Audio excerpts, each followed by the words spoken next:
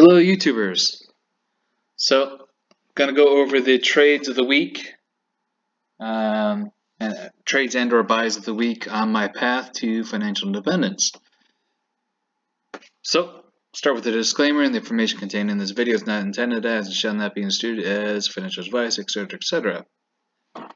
Alright, on the left hand side we can see, uh, going at the bottom, that I bought uh, SNDL which has been trading in a range at uh, 110 dollar 10 and then I sold shortly afterwards at uh, a dollar 20 so and that was with uh, 10 uh, shares.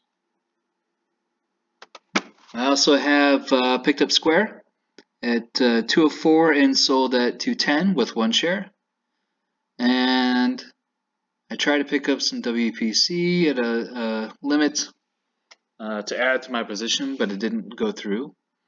Uh, I did pick up uh, VTRS at a limit of $14. And once again at uh, WPC, I put in a limit order at $70, uh, good till cancel. So uh, likely will hit, I'm guessing a week or two, who knows.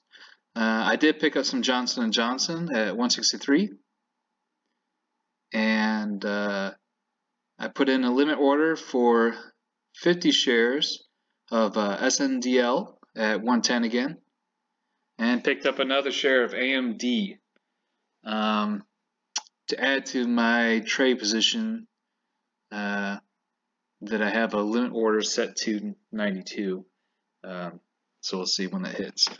And also, shortly after my last video, I put in a, uh, well, I had a, a limit order uh, for Pepsi, PEP, at uh, 142, which finally hit for my seven shares.